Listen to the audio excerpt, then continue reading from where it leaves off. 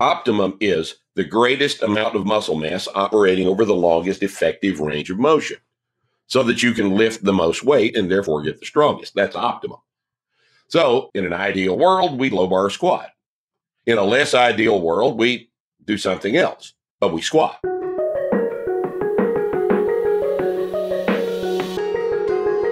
Hello, dear listener. Mike here, back with another episode of the Muscle Life podcast.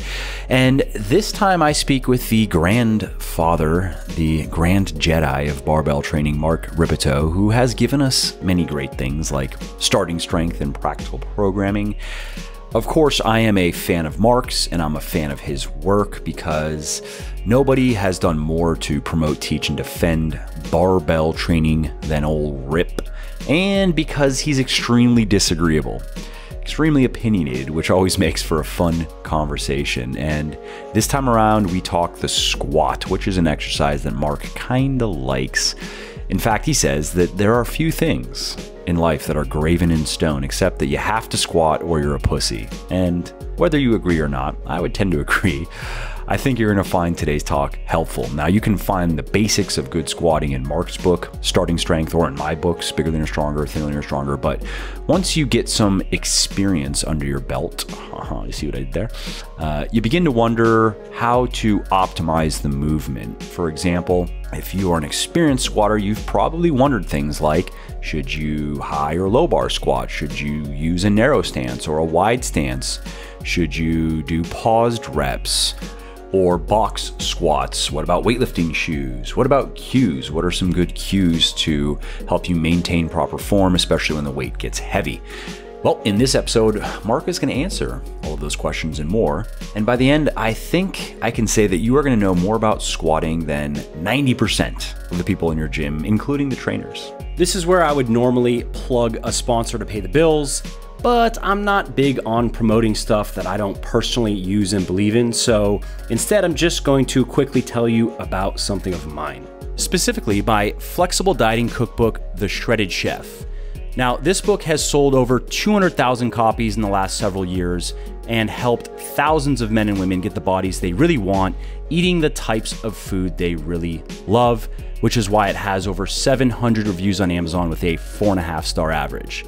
So, if you want to know how to build your best body ever without having to follow a boring, bland, overly restrictive bodybuilding diet, and if you want 125 of my personal favorite recipes for building muscle, losing fat, and getting healthy, then you want to pick up the Shredded Chef today, which you can find on all major online retailers like Amazon, Audible, iTunes, Kobo, and Google Play. Now, speaking of Audible, I should also mention that you can actually get the audiobook 100% free when you sign up for an Audible account, which I highly recommend that you do if you are not currently listening to audiobooks.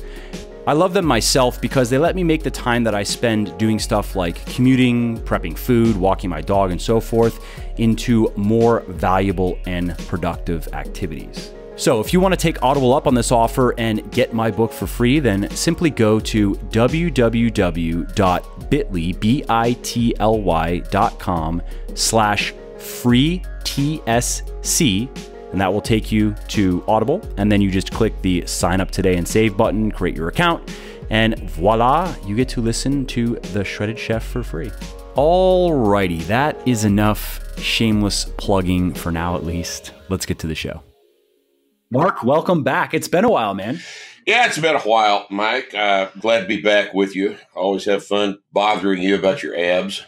what, what? That's, what, that's what I was thinking we talk about. We talk about your favorite subjects. So, like, how do I get really small and skinny and have really good abs? Yeah, I know. I, I, what do you even want to talk to me for? I haven't had abs in 40 years, probably. I must have something makes, else to bring to the makes table. you completely unqualified to talk about anything, then. Why are we talking? Well, there you have it. Some people would agree with that.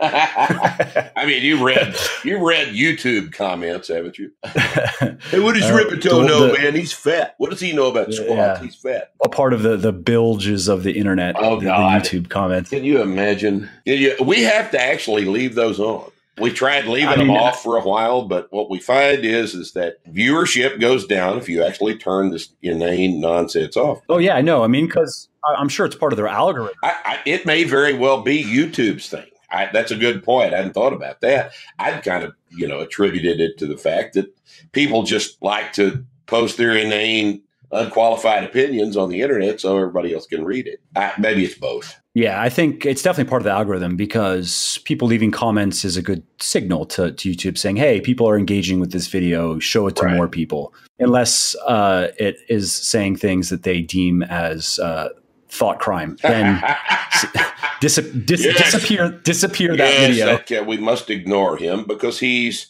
clearly guilty of bad think wrong, wrong think. think. That's the term, wrong think. So, how you? that's business been, Mike? Tell me about how your business is going. We're having a hell of a nice year so far. It's a damn good year. Past couple of weeks, I don't understand it, but past couple of weeks, we have exceeded all of our previous sales records, and we're just we're killing them.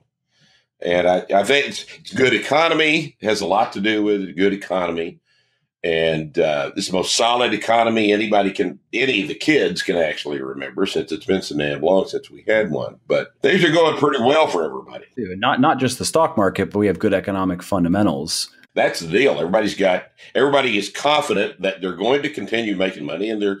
You and I live at the top of the food chain, so they spend money with us when they know they've got it to spend. And it's just a, this is a good time for our business. I agree. And then I think also health and fitness on the whole is on the rise. I mean, you can just see it on Google Trends, yes. for example, like it's factually on the rise, but right. we also see that in our, in our lines of work where you have uh, there's obviously a seasonality effect, um, but every year everything just gets a bit bigger because more and more people are not only find their their way to health and fitness and wellness, but specifically to strength training because uh, it's probably a combination of factors. One, like I just read research that just came out. It was actually this month. It came out a couple weeks ago. That um, basically the the long story short is the stronger your body is as you age, the less likely you are to die from all causes, which seems obvious, seems like an obvious statement, but for a lot of people, it's not so obvious. A lot of people go, "Oh, wow, so so so I should be strength training then." That's been in the literature a very long time, but you know how these trends resurface even in the literature from time to time, and if, if people are focusing on that now, that's good.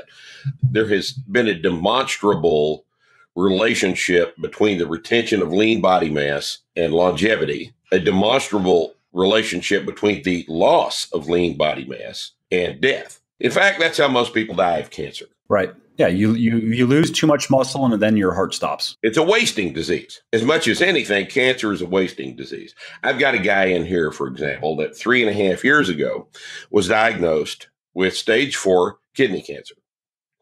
And he's been on chemo more on than off since then. He's had a couple of operations. And when he came to the gym that day with his diagnosis, he was obviously panic stricken and, and crushed. And I, I just told him, look, you cannot die of cancer if your lifts are going up and you're not losing any body weight. So you do what you need to do to keep your lifts up and not lose any body weight. And that seemed to make sense to him. And he came back from his last checkup a couple of weeks ago and told me that the two big nodes of this shit that were on his lung were gone.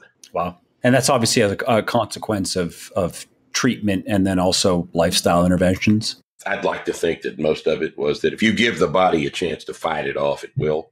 You give it some help in terms of yeah. not particularly aggressive chemo because he he's a poor guy and he can't afford particularly aggressive chemo, but so but they've been treating him. You just stay big and strong. I mean, the guy weighs 265. He's 6'2, 265.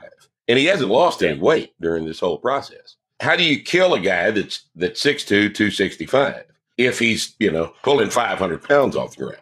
Yeah, I mean it's interesting. I have actually, uh, I mean, I can't say I've read much in terms of lean, I mean, I know lean mass is obviously just associated with a stronger immune system. So from that perspective, of course, it makes sense. You know, in, in some ways, your muscle is kind of a fuel reserve for your immune system, right?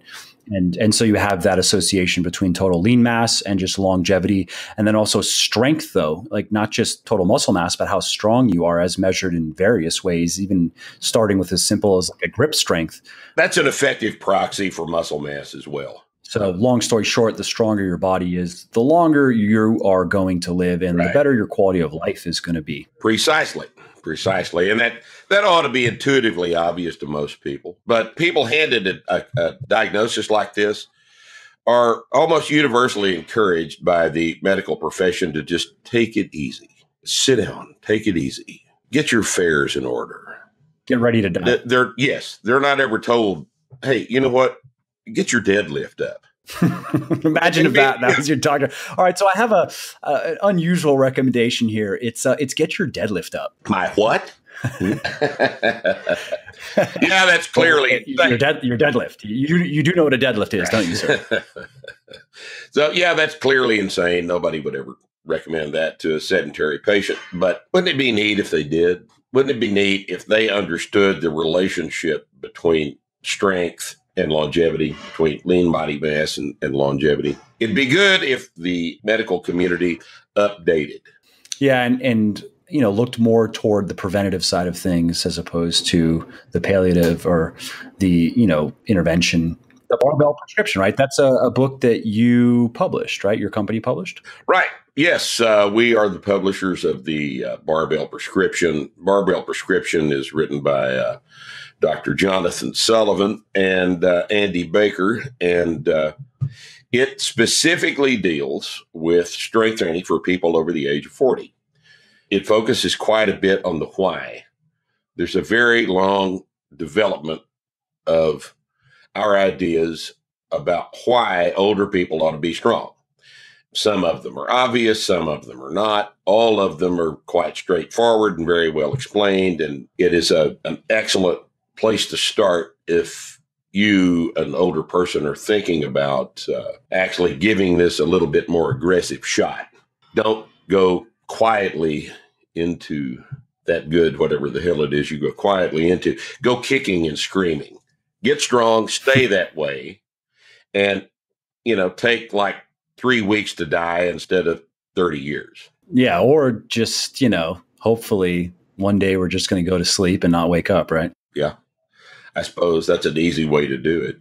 There's a concept called compression of morbidity that I think is very important. I mean, we've all got older relatives who just laid there and wasted away in the rest home for years and years and years. And then we've all heard of people who were just fine up until three weeks prior to their death. They got a cancer diagnosis and they, three weeks later, they were gone. But four weeks prior to being dead, they were having a pretty damn good time. And I think that's probably the better way to do it, don't you? Yeah, and that's actually my my dad's neighbor went that way. Um, it was unfortunate. I mean, he was in his fifties and in great shape, um, family and stuff. Pretty shitty situation, but he, uh, yeah, he had some weird form of cancer behind his eye or something, he's doing fine uh, and there were no there were no symptoms. I don't even know how they caught it standard type of checkup type of thing.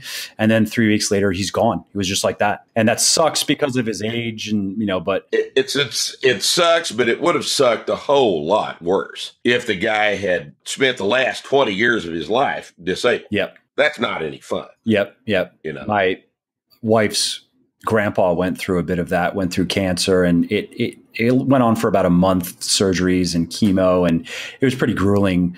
I was telling her, I was like, if this is, if I uh, ever found myself in that situation, I'm going for euthanasia. I'm just uh, OD me on barbiturates. I just want to get high as fuck and disappear. Like that's that. Yeah. That's just not, I'm not for me. really. I'm not really interested in in being in horrible pain for for nothing too. Like there's no chance that you're going to make it, and they yeah, know that. I'm really not interested in that at all. Not a bit. Totally. Not a bit. All right. So let's move on uh, to less morbid things. Let's talk about squatting. A great exercise for increasing strength and not getting cancer and not dying in horrible ways. Okay, so obviously you have written and spoken extensively about how to squat and all, all the key things you got to do right uh, to to be squatting at least with decent form. So I thought it'd be fun though to pick your brain on on some of the more nuanced aspects of squat and just just hear your thoughts. And so I kind of put together a little bullet point list of aspects of the squat that I just want to throw out to you and see what you have to say. So um, let's start with high bar versus low bar. Uh, this is an ongoing debate, something I'm asked about fairly frequently. I personally prefer low bar; it's more comfortable for me. But um, what what are what are your thoughts on high bar versus low bar? Well, I think that uh, we have got a, we've developed a set of criteria that we use to analyze all of the exercises that we do. That set criteria are as follows. First is the exercise should involve the most muscle mass that it can. The exercise should involve two, the longest effective range of motion that it can. And if these two things are satisfied, the exercise will allow you to handle the most weight possible in order to four get you as strong as you can get because we're strength training. We're not bodybuilding we're strength training. We're talking about getting stronger. So if we correctly analyze the lifts and make a little list of the things that we can do to change the lifts to head them in the direction of those criteria then the outcome is one of increased efficiency in terms of the time we spend under the bar at the gym right it would be better to get more done than less done at the gym in the same period of time. And as a result of that, because of the practical, well, because of the fact that wasted time is wasted opportunity. The people that we do business with, the people that you and I do business with are productive individuals. They're not 23 year old kids living in the basement and they don't have six hours a day to fool around in the gym. So we have to look at this from a practical standpoint. And if there's a way to squat that accomplishes our objectives much more efficiently, then that's the way we ought to squat. And as it turns out, the low bar squat, squatting with the bar in what is called the low bar position, produces a more horizontal back angle and produces more use of the larger muscles of the posterior chain because we expose that muscle mass anatomically to longer moment arms as a result of these angles. It allows us to lift more weight, but it also causes us to have to use more muscle mass. And that's why we like the low bar position because it produces a slightly more horizontal back angle and more activation of the glutes, the adductors, the low back muscles, the hamstrings.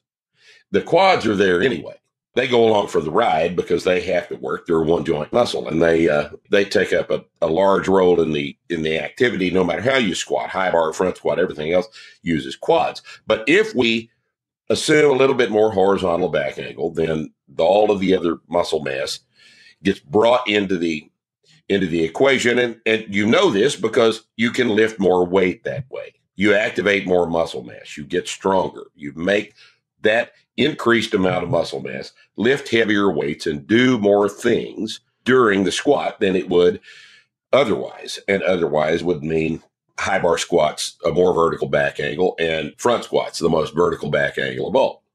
Now, in the grand scheme of things, if you're squatting, you're doing just fine. All right. If you're squatting, you're doing what you need to do.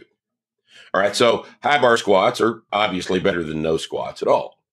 And some people can't do low bar squats because of their shoulders. Because uh, I, I, will say this: the low bar squat is a lot more difficult to coach. It's a lot. It's a lot more complicated movement pattern.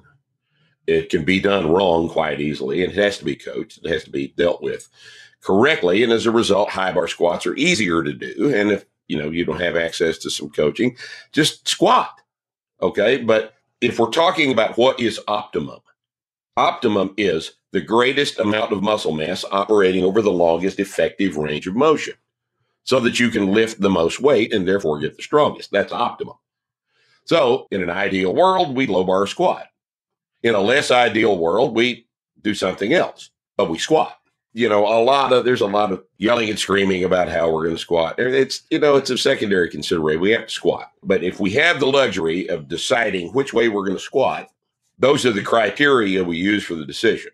And the way we squat is a way that that satisfies those. Makes sense. And, you know, you can apply that same logic to just weightlifting on the whole. And that's why, that's why, yeah, you start like, you know, start with your squats, your deadlifts, your presses. And if you can do those exercises, then those are the ones you want to do. And I would say, you know, you mentioned earlier strength training versus bodybuilding.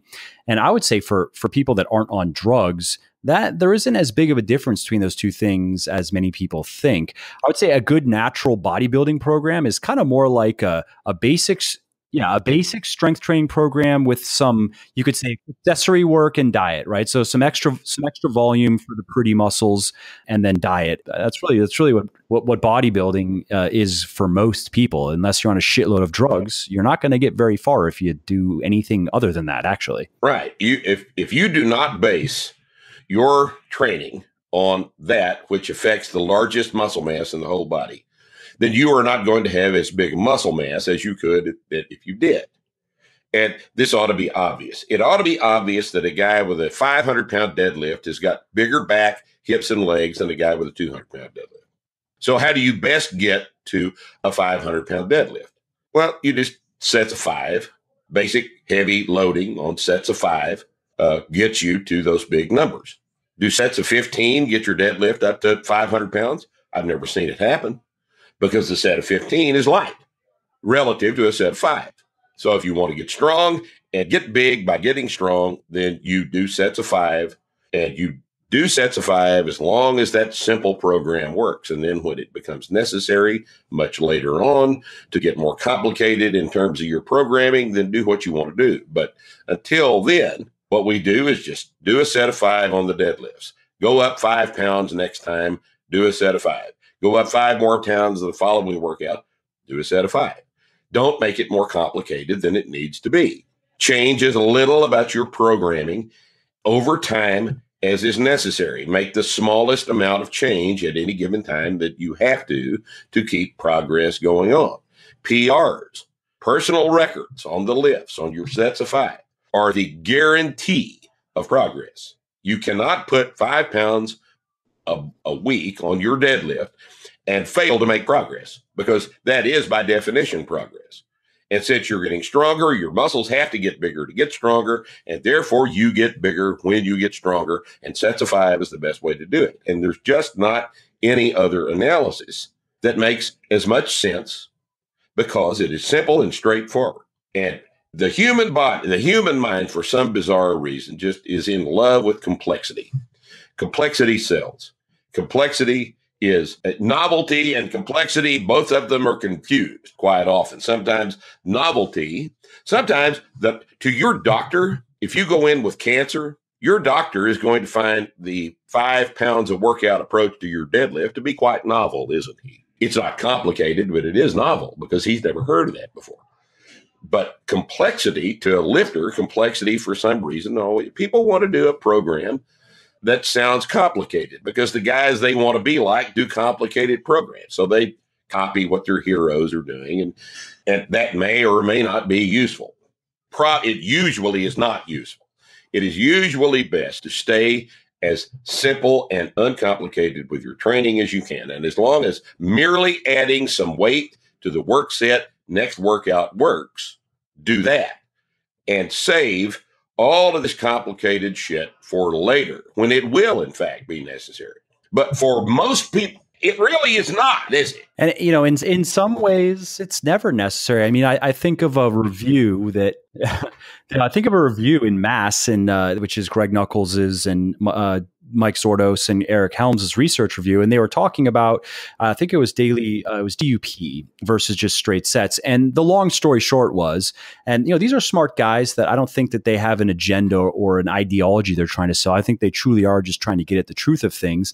And based on a pretty extensive review of uh, just relevant literature, it was that like in in high level strength athletes that are doing everything right, DUP does seem to be a little bit better uh, over the long term. But by a little bit better is like you know, 5% better in terms of strength gain. And what does that really mean in terms of like, yes, that matters if you're, if you're a strength athlete, that does, that does matter.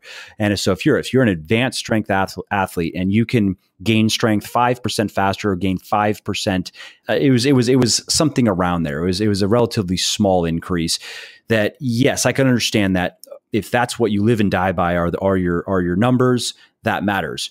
Now, how does that matter though to the average guy or the average girl who just wants to be fit? They just want to put on, you know, the average guy, I've worked with thousands and so have you, you know, the average guy wants to put on, let's just say 30 to 40 pounds of muscle and wants to be relatively lean and look good. The average girl, this, this I'm speaking from my personal experience. Your experience is be a bit different actually because you probably have a little bit different crowd. But in terms of just the everyday Gen Fit person, that seems to be the sweet spot for guys. And for girls, it's probably mostly, let's say 15 to 20 pounds pounds of muscle added in the right places and around 20% body fat, and they're thrilled. For those people, they don't even need to ever hear the word DUP. You know what I mean? Yeah, here's, I'll tell you a little secret, right? I don't know what DUP means. Oh, daily undulating periodization. so, um, oh, I see. It's complexity. It's, it's one of these fi- complexity. Yes, yes, yes. No, I don't but care about uh, that. I you, you would appreciate it because it actually, from a programming perspective, um, it's just working right. in different rep ranges and different in different workouts. That's all. So it's like you're doing your really heavy training on one day, and then you're doing a little bit lighter and a little bit on another day and a little bit lighter, just to work in different rep ranges. Is the long story short? Obviously, it's a bit more sure. technical Always than that, but that's the gist. Anyways, so yes, I, I totally agree. Keeping it simple is going to get the vast majority of people listening to this and just the vast majority of people out there that are interested in, in strength training is simple is better. Just stick to the fun stick to the fundamentals. Right. The vast majority of the time who are the vast majority of people? Are they competitive that's that's exactly that's that's the point. No, like yeah, that's it's just that's that's not who we do it's not who we do business with I don't care what competitive lifters do. They can figure all this out themselves. They're certainly entitled. You've been training 10 years. You probably know more about your training than I do, and I'm going to always defer to your judgment. Whatever you want to do, have fun. Look, as long as you're making progress, as long as you're making PRs on a regular basis, then what you're doing is obviously working. But I don't care about those people. They're going to be, they don't need me to care about them. I care about their mom. I care about their uncle. I care about their little brother who's not a competitive lifter. I care about the, I care about people who want the most straightforward, uninterrupted period of progress that we can hand them with the simplest, most effective programming possible. And that's all I'm concerned about. I mean, if a guy is go- lifting at the Nationals this year, I'm not even going to presume to offer an opinion about what he ought to be doing. He'll figure that out.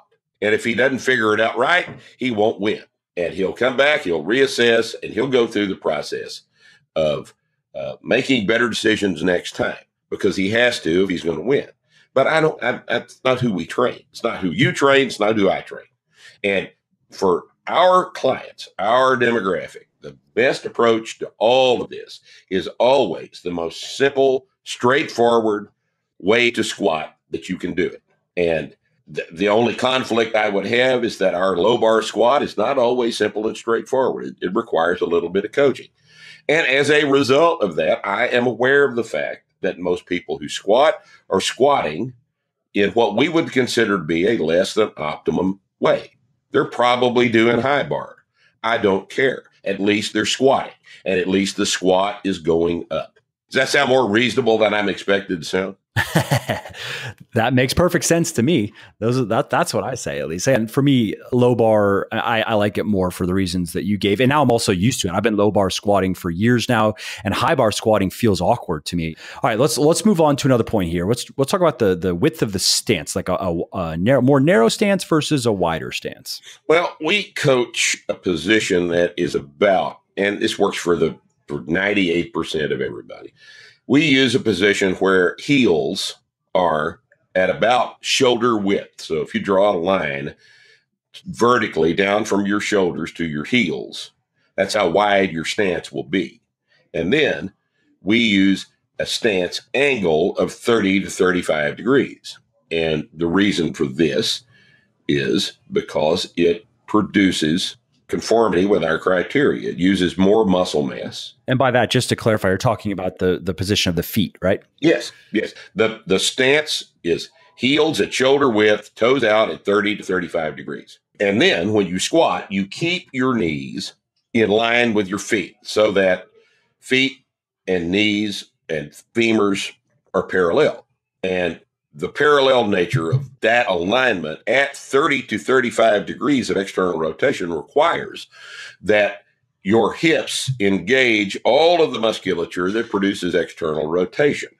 Now, all of that musculature is the is the three big glute bellies, as well as the internal, the physical therapy muscles. I like to call them the piriformis, the obturators, the gemelli, and the uh, I always forget the quadratus guy in there. I think he's the quadratus lumborum, but I don't really care. What I care about is that all of the muscle mass that produces external rotation is called into the squat. It's involved in the exercise if external rotation is a part of the execution. So we intentionally choose a stance that produces external rotation, thus involving the external rotator muscle mass in the exercise. This has another side effect. It produces a, a more complete activation of the adductors, the groin muscle, which when that stance and when external rotation is involved in the movement, the adductors, the groin muscles, become very, very strong and effective hip extensors because of their anatomy. And you'll just have to look this up. So, in other words, if we are pointing our toes out at 30, 35 degrees at that stance width, and we're keeping our knees out in a line over the foot, then we are involving all of the muscle mass that uh, produces that external rotation, the glutes and all the physical therapist muscles, and we're involving the adductors, the groin muscles in the squat. Whereas if you take the standard conventional wisdom, narrower stance, toes pointed, knees pointed straight ahead, you leave all of that muscle mass completely out of the movement pattern. And I don't think that's a good idea because I'd like to train as much muscle mass when I squat as I can so that I can lift more weight and get stronger, strengthening all that muscle mass. So that's the reason for our stance differences. You know this works if you've ever had a groin injury and trained through it. Groin pulls are amazing little things. You you have no idea uh, how many things your adductors are involved in until you tear one of them. It's exquisitely painful, but you probably had one yourself. Fortunately, I haven't. I haven't had an injury, but I've had very sore adductors that got in the way of squatting. I remember I had to work through that. I actually had to drop weight for a bit and just like I, if I remember, for about two months, I was uh, just working through extreme soreness. This was the first time when I started to get up into the low and mid 300s on my back squat. There was a period I may have been in a in a deficit at the time. I don't remember. There was just a period when, for some reason, uh, my hip flexors and my groin muscles, they were just very sore. And I actually had to back off on the weight and I had to let them recover uh, and, and get strong enough to allow me to continue progressing. Uh, so, what are your thoughts on pause reps? I think they're useful for uh, advanced lifters. I do them myself because a, a paused rep below parallel to a box allows me to stay out of my creaky old knees. Uh, I tend to make mistakes because I train in here late at night by myself, and I tend to make mistakes with my form, just like everyone else does. I need a coach. And if I'm in here by myself at night, what I do is squat to a box that is 12 and three quarter inches high, which puts me about a half inch below parallel. Then I pause on that box and then I drive my hips up. And in, and in doing so, I am able to stay out of my knees that I I hurt my left knee doing this wrong about a year and a half ago. So I just decided I'm going to do all my squats to a below parallel box on a, with a pause. And why that's not good for novices should be obvious. I'm uh, 62 years old. I'm just barely held together with chewing gum and baling wire. I think that, you know, the older you get, obviously the more the more nuanced your training is going to have to be. But for the vast majority of people, they don't need to do a pause squat. They just need to squat. They just need to learn how to squat correctly and do it correctly. So that's what we coach. We don't use pause squats for many people. Now, later on, advanced lifters, once again, can do anything they want to do. Makes sense. And what are your thoughts on pause reps without the box? They're, they're real So you hard. simply you're getting down in the hole and you're you're pausing a few seconds. Yeah, they're they're difficult. they're difficult because they remove the stretch reflex, the rebound from the bottom of the squat. yeah, you don't get the hamstring bounce, right? You don't get any bounce at all. And it's not just the hamstrings you're bouncing off of, it's all of the posterior chain, all of the glutes, all the adductors, the quads, all of that muscle mass is involved in the stretch reflex if you produce a bounce out of the hole. So, pause squats, box squats, pin squats, all the variations of a squat that removes the stretch reflex makes the movement much harder because the stretch reflex is uh, increases mechanical efficiency of the squat uh, to a, a gigantic extent that it's supposed to be in there. The stretch reflex is a normal human movement. Uh, anytime we jump, we use a stretch reflex. Anytime we push on something hard in you know in real life, we're using a stretch reflex. All of that movement pattern stuff is is quite thoroughly dependent on the stretch reflex, and so is the squat. And if we artificially remove it from the squat, that's a good way to increase the difficulty of the squat. But think of it like this what is force production? If doing a pause squat reduces your ability to squat by 25%, just like going eight inches below parallel, does it have the ability to make you as strong? No. It may be necessary later on for special reasons. It may be useful for an advanced lifter as an assistance exercise, depending on the, the particular nature of his squat training. But it does not have the capacity to allow you to lift as much weight, and therefore it cannot make you as strong. Agreed. Yeah, I mean, I've always done it. If I have done it, it's been an assistance thing. So it's been I would do my heavy regular squats, and then simply because I mean, I I feel like, and it, it's not. I guess I can't say for sure. The reason why I was doing it for a period of time is that I was just trying to get stronger out of the hole, and uh, I feel, and also just get more. I don't know, get used to because I, I would actually still keep the weight heavy, just be fewer reps you know, I was progressing on my squat nicely at that time, not necessarily because of pause squats, but it was something that I had read about and I'm like, oh, interesting, I'll try it. Well, it's, uh, I think everybody ought to try it after they've been training three or four years. You need to be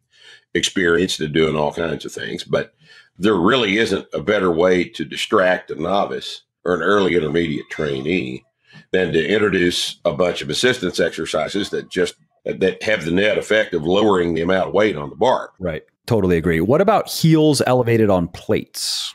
That's something we see fairly often. Well, I, we don't see that as much as we used to. Yeah. In uh, in most gyms, I think that's gone away. A heel on a shoe is a, a useful thing for some lifters, depending on their anthropometry. I'll ask you to consider the, the case of femur tibia ratio, the length of the femur to the tibia. And in your mind, I want you to draw a person in a squat at the bottom of the squat who has a short femur and a long tibia. Where are his knees compared to a person with a long femur and a short tibia? You can see that the person with a long femur's knees are going to be forward of the person with a short femur, right? And you can see that the knee position relative to the to the shin produces a different angle in the shank, that part of the leg dominated by the tibia. A person with a long femur is going to have a more a more horizontal shank angle than a person with a short femur. So yeah, that's that's me. My knees, you know, they just are more forward than some of the you know, a couple of guys in the office who have different legs and they're much more upright. Their tibias are much more upright at the bottom. Right. And you'd mentioned earlier that your femurs were long relative to your tibia. So if a guy is going to have an anthropometry that produces a more forward knee relative to his toes, because that's really what we're talking about here, then I don't see a, a point in elevating the heel for him because he's already and, and the reason we might want to elevate a heel is to get more quadricep into the movement pattern.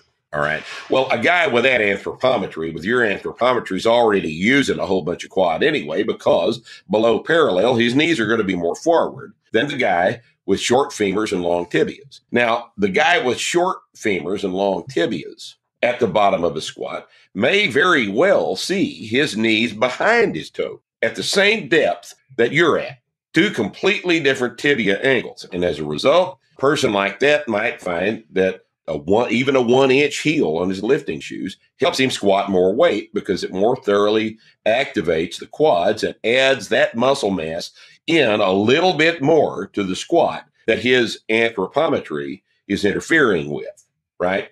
Now, long tibias and short femurs are typically what we see in sprinters. Have you ever noticed that that sprinters, if you look at the the last heat of the 100 meters at the Worlds, you'll see that every one of those guys is built the same way. They've got short femurs and long tibias. And it doesn't take a lot of imagination to see why that might be very, very useful for a sprint. By the same token, it, it doesn't necessarily make for the for the best squatting. Best squatting is going to be effective with uh, a more normalized anthropometry, neither long or short femurs relative to tibias. But if you have an anthropometry situation where you have a long femur relative to your tibia, I think a flat shoe works just fine. Plates under under the heels are heel height. So I think you just you, you just have to make the judgment call. I recommend that most people are going. I, I say coach, in fact, all the time. I wish I could get somebody to make shoes like this.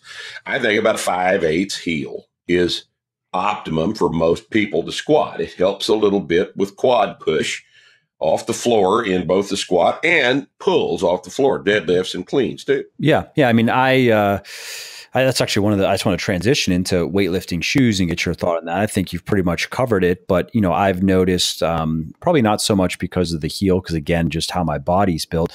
But I find that I'm able to uh, generate like one. I like the stable base of the of the shoe, and I like the torque. I like the torque that I can generate, and I, you know, I've noticed uh, a slight increase in performance with good lifting shoes um, with no, no no apparent change in technique. I just am able to dig my feet into the ground and generate a bit more power. That is because lifting shoes' primary role is to produce stability between your foot and the floor, and stability increases the efficiency of the force production between your foot and the floor. It increases the efficiency of the force transfer between your foot and the floor. If you have a solid block under your feet and your feet are squeezed in tightly, stabilized laterally by a nice metatarsal strap. Just shut up and buy some shoes. This this is not silly. Not that expensive. They last for ten years. How about cues? Let's. I'd, I'd be curious as some of your cues, um, or some of the cues that you recommend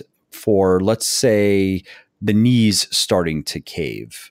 You know, the the butt shooting out of the hole, the standard kind of mistakes. One one leg, you feel like one leg is working harder than the other, stuff like that. First off, let's talk about what a cue actually is. When we coach really anything, what we what we coach, and it, let's just use the lifting example. If I'm gonna if I'm gonna coach lifting, I have to know what it is that I'm trying to coach.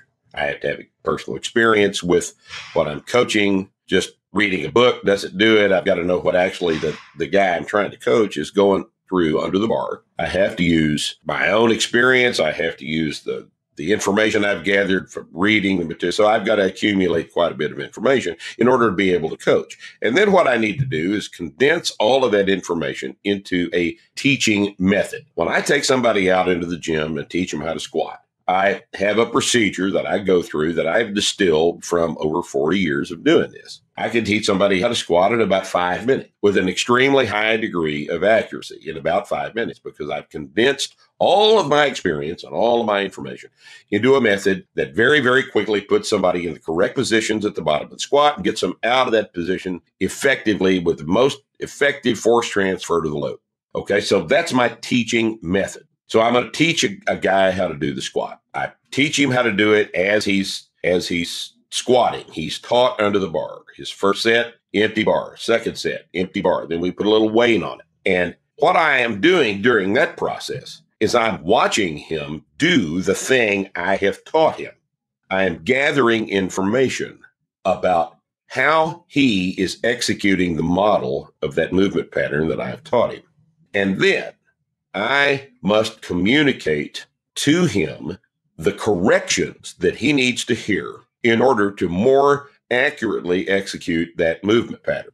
Those corrections are cued. Those those are the things that I've already taught him about the movement he is supposed to be doing that are essentially reminders of things he already knows. Cues are reminders of things that we've we've already given him in terms of what he's supposed to be doing under the bar when I taught him how to do it during the teaching method. He learned all of that stuff. And now I'm reminding him to do the things that he needs to do to execute the movement pattern correctly. I see him making errors on. Okay. So a cue is a reminder to do something that I've already taught him how to do. That's how cues can be short. So looked at like this, not everybody needs the same cue. Not everybody will process the teaching method the same way.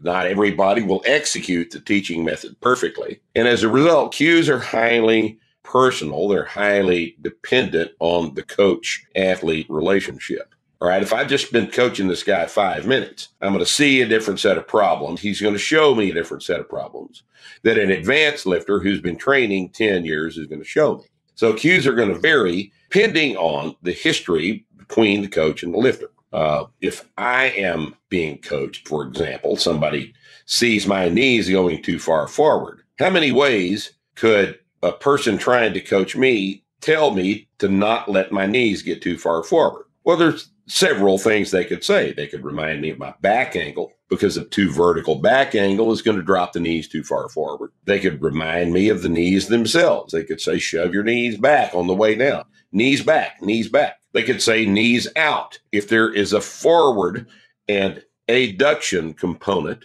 to my knee problem, they could say knees out because if knees are going out, they're not going forward. They could remind me of my hips. They could remind me of weight on my feet. There's several different ways that all these things are interrelated. And depending on which of these interrelated things that we see the guy doing wrong and how we know that he's going to interpret that cue, that might determine the cue that we're going to that we're going to give him. Are there are there any cues that uh, you find yourself that just ha- are useful with uh, most people? For again some of some of the more common mistakes like let's say shooting the hips up too quickly right? Or the cues that are that are useful for most people are in the teaching method right? So the most common error we see and we've coached thousands of people through this process we coach this year we'll be doing 16 seminars with 30 people in it we're we're coaching lots and lots of people all the time and the most common error we see in squatting is the tendency to try to squat with too vertical a back because it's normal for most people to think that squat is legs. Squat is hips. The squat is a hips movement. And in order to get the most out of the hips and thereby accidentally get the most out of the leg, the back angle must be more horizontal than most people want it to be. And this is why we put the bar down low and why we have to continually remind people to bend over. Present your hips to the floor. Present your chest to the floor. Point your nipples down. There's several different ways to, to, to, work with this back angle because if your back's too vertical, you can't drive the hips up out of the bottom. And hip drive is an inherent part of every heavy squat, whether you want it to be or not. There are no videos available of people squatting heavy weights without an initial hip extension, without the use of the hips as the way to get out of the bottom. Whether you've been taught not to do that or not, that's what you do. And it makes absolutely no sense to ignore that perfectly reasonable way to improve your ability under the bar to think correctly about what it is you're going to do with that movement pattern. As a result, hip drive is the primary feature of effective squatting. And there all of the stuff that goes into driving the hips up needs to be the thing that you as a coach get very good at getting out of your lifter. And there's many ways to interact with lifters as there are coaches and lifters. But squats are all basically the same. Squats are hips out of the bottom. They may all look different because of anthropometry, uh, bar placement, all that other stuff, but the human body squats one way. And as, and this is why, this is why, Mike, experience in in coaching the barbell lives. Is the most important aspect of passing our certification. And it is the least accessible thing that we can provide with a person we're trying to train. You just have to go coach a whole bunch of people, develop your ability to watch what they're doing wrong, to explain effectively first what to do, to watch what they're doing wrong, and then to effectively communicate through cues. I just I just feel as though Rippetoe is teaching a good morning. I just feel as though Rippetoe is teaching good morning. Well, he's not. Exactly. So what you feel is irrelevant. Deal with it. okay, last question for you. Safety bar. Uh, yeah, I can see a role for it. I don't have one here. Uh, never found it. What's that? What's I've that never role be- your? Never found it necessary myself. Well, uh, a guy with one arm probably could. He could probably squat more effectively with a safety bar. Uh, a guy with a bad shoulder injury, guy with terribly arthritic shoulders, some kind of a problem with interfacing with the bar with his hands and upper back is what a safety bar is for. But what does the safety bar do to the back angle? It makes it more vertical, doesn't it? It turns a squat into a front squat. Right. And what do we want to do? We want a more horizontal back angle so we can do more muscle mass over a longer range of motion. So I don't see a point in using a safety squat bar unless there are special considerations with respect to injuries. Yeah, I, I, I see no point in front squat. It's unfortunate that Olympic lifters have to do those, but they have no choice. But they're a terrible exercise. Great. Okay. So last thing, just for fun, I don't have any other squat. Those are all my squat questions.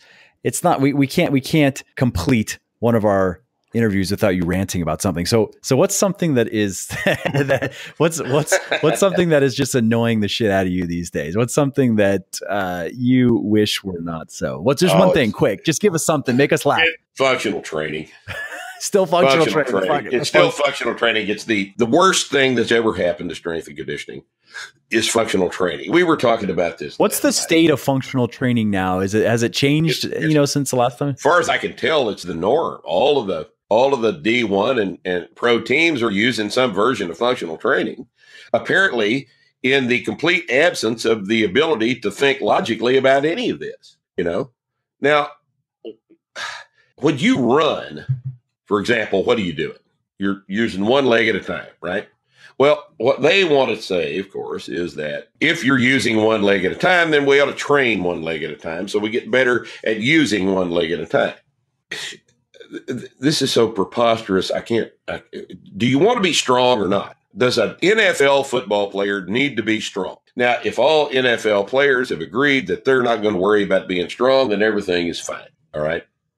But if we come to the awareness that we need to be strong, what's the best way to get strong? On one leg at a time? What are you doing on one leg at a time? Anytime you're on one leg, what are you doing? Or you're going somewhere, right? You're moving moving forward. And what are you doing with respect to your body's center of mass in relationship to your body's center of balance? You're translating it forward across the ground. In other words, you are unstable when you're on one leg at a time. You are unstable. Can you produce strength under conditions of instability? Well, no, that's not what it's for. It's for moving across the ground. You get strong on both legs at a time. And now you take your stronger body and you move it through positions of instability. And it works better because it's stronger because you got that way on both legs. And so that's so that's a big thing then. Uh, doing the unila- unilateral, you know, doing split squats over over barbell squats. Right. It's the basis of the whole thing. You know, they, they have to, you know, the best functional trainers are the ones that have figured out novel approaches to doing shit with light weights on one leg at a time. And I just don't see the, I mean, the only way anybody gets away with it is that everybody in professional and D1 sports has somehow bought into this nonsense. And so since none of them are squatting 700 now, when they ought to be, a lot of them can do that without a lot of training. These guys are freaks, right? But if we all decide that we're just going to do one leg at a time and nobody ever gets their deadlift up over 500, then, you know, A, it works just fine because everybody's weak. And B, when they get hurt, you know, because their knees are not nice and strong, like I just explained to you about front squats. When they knees hurt, I think it's probably good because that enables a guy down the bench to do your job that he wouldn't be doing had you actually just done your squats and deadlifts. So I guess it's good. You know, it makes opportunity.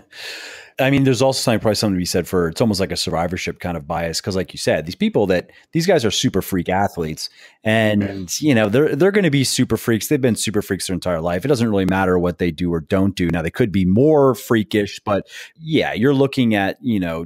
You, if you got a whole locker room full of guys with 36 inch verticals, this is the this is another thing we always we always talk. If you got a locker room full of guys with 36 inch verticals, it automatically looks like you know what the hell you're doing, doesn't it? Because guess what? Always happens with guys that with that have 36 inch verticals when they go from 18 years old to 22 years old.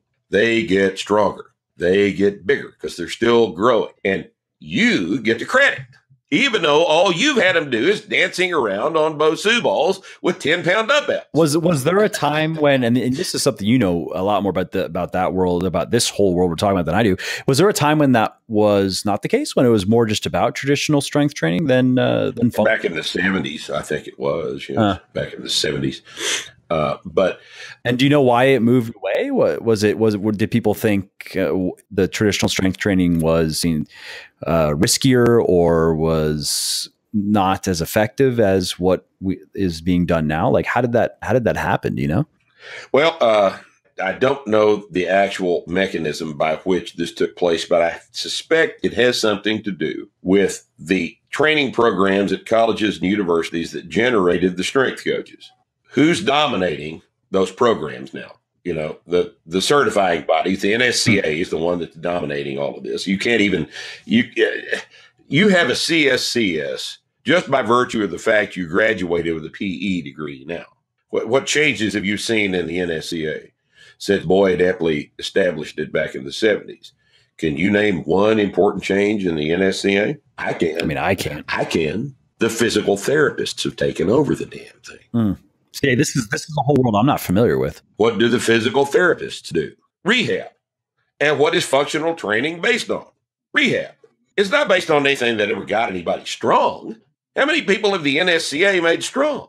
How many 600 pound deadlifts have CSCS generated over the past 20 years? They don't even do the exercise. Yeah. So, yeah, I think it's, uh, you know, it's all gone down the toilet as a result of that. I mean, that's uh, and once we're all under the operating under the same assumption, then uh, it's it gets real hard to change that paradigm, doesn't it? Yeah, you just get stuck in stuck, stuck in, in, the, cave, cave, right? And that's where they are. Interesting. Interesting. All right. Well, uh, that's everything that I had. We've talked about squatting. We've talked about functional training. One of your favorite. We've even talked about abs. Two of your favorite I, I things. Abs, abs and, and functional training. My favorite things. In fact, functional training is the best way to get abs. I want. Uh, oh yes, is sure. that that's correct? Perfect. No, this has been great, Mark. I really appreciate it. Uh, super, super informative. Thank you for taking the time.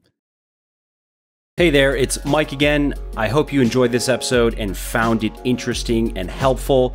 And if you did and don't mind doing me a favor, then please do give this video a like and leave a comment down below. Not only do I like to hear from everybody and I jump in and reply to as many comments as I can, it also helps other people find their way to the show and learn how to build their best bodies ever too. And of course, if you want to be notified when the next episode goes live, then just subscribe to my channel and you won't miss out on any of the new content.